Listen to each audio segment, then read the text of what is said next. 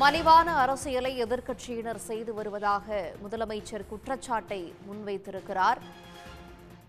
சட்டப்பேரவை இன்று தொடங்கி நடைபெற்று வரக்கூடிய நிலையில் கேள்வி நேரம் முடிந்ததும் கள்ளக்குறிச்சி விவகாரம் பற்றி பேசப்படும் என்பதை எதிர்க்கட்சியினர் அ- வைத்து அரசியல் செய்வதாக முதலமைச்சர் குற்றம் சாட்டியிருக்கிறார். எங்கும் ஓடி ஒழியாமல் கள்ளக்குறிச்சி விவகாரத்தில் எடுக்கப்பட்ட நடவடிக்கைகளை பட்டியலிட்டிருப்பதாகவும் முதலமைச்சர் தமது விளக்கத்தை தெரிவித்திருக்கிறார். மலிவான அரசியலை எதிர்க்கட்சியினர் செய்துள்ளதாக முதலமைச்சர் மு ஸ்டாலின் குற்றச்சாட்டை முன்வைத்திருக்கிறார். கேள்வி நேரம் முடிந்ததும் கள்ளக்குறிச்சி விவகாரம் பற்றி பேசப்படும் என்பதை அறிந்தே எதிர்க்கட்சியினர் வெளிநடப்பை செய்திருக்கிறார்கள். எனவும் முதலமைச்சர் ராஜினாமா செய்ய வேண்டும் என்று சொன்னவர்களுக்கு இந்த விவகாரம் தொடர்பாகவும் அதில் எடுக்கப்பட்ட நடவடிக்கைகளை தொடர்பாகவும் முதலமைச்சர் பட்டியலிட்டு தெரிவித்திருப்பதாகவும் தமது விளக்கத்தை பதிவு செய்திருக்கிறார். மலிவான அரசியலை எதிர்க்கட்சியினர் செய்துள்ளதாக முதலமைச்சர் குற்றம் சாட்டியிருக்கிறார். கேள்வி நேரம் முடிந்ததும் கள்ளக்குறிச்சி விவகாரம் பற்றி பேசப்படும் என்பதை அறிந்தே எதிர்க்கட்சியினர் வெளிநடப்பு செய்ததாகவும் இந்த விவகாரத்தில் இதுவரை எடுத்த நடவடிக்கைகளை பட்டியலிட்டுள்ளதாகவும் தெரிவித்திருக்கிறார். தாம் எங்கும் ஓடி ஒழியாமல் கள்ளக்குறிச்சி விவகாரத்தில் எடுக்கப்பட்ட நடவடிக்கைகளை பேரவையிலேயே பட்டியலிட்டுள்ளதாகவும் முதலமைச்சர் தமது விளக்கத்தை பதிவு செய்திருக்கிறார்.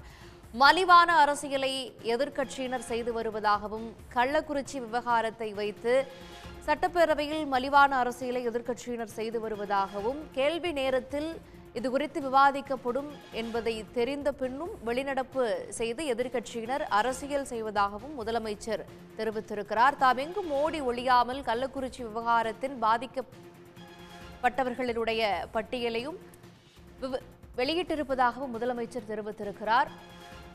இந்த விவகாரம் பற்றி பேசப்படும் படும் என்பதை அறிந்தும் எதிர்க்கட்சியினர் வெளிநடப்பு செய்திருப்பதாகவும் முதல்வர் ராஜினாமா செய்ய வேண்டும் என்று சொன்னவர்களுக்கு இந்த விவகாரத்தில் எடுத்த நடவடிக்கைகளை பட்டியலிட்டு பட்டியலிட்டிருப்பதாகவும் முதலமைச்சர் விளக்கமளித்திருக்கிறார் தாம் எங்கும் ஓடி ஒழியாமல் கள்ளக்குறிச்சி விவகாரத்தின் தொடர்பான விவரங்களை பட்டியலிட்டிருப்பதாகவும் எனது உரையை கேட்க மனமில்லாமல் அரசியல் ஆதாயத்திற்காக மலிவான அரசியலை எதிர்க்கட்சியினர் செய்கிறார்கள் என்றும் முதலமைச்சர் குற்றச்சாட்டை முன்வைத்திருக்கிறார்.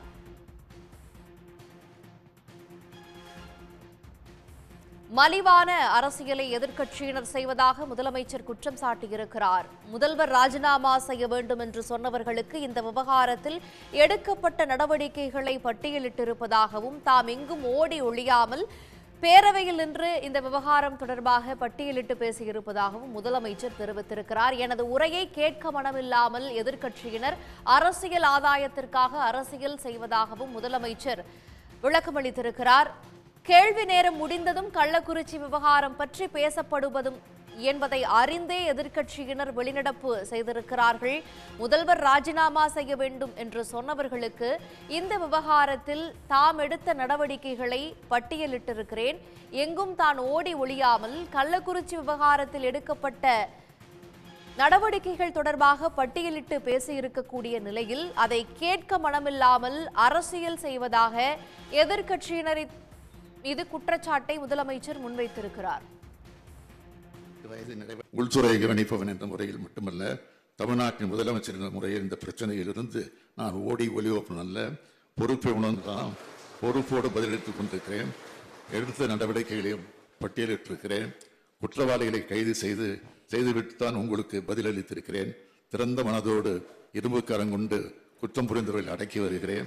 எதிர்க்கட்சி ஆட்சியில் இருந்த காலத்தில் போதைப் பொருள் விவகாரத்தில் அமைச்சர்கள் உயர்காவல்துறை அதிகாரிகள் ஈடுபட்டு விசாரிக்கப்பட்டு அந்த வழக்கு நீதிமன்றத்திலும் இருக்குது என்பதை நாட்டு மக்கள் மறந்துவிடவில்லை. அதிமுக ஆட்சி ஏற்பட்ட கள்ளச்சாராய மரணங்கள் பற்றிய பட்டியல் என் கையில் இருக்கிறது. அதையெல்லாம் அரசியல் பேச நான் விரும்பவில்லை.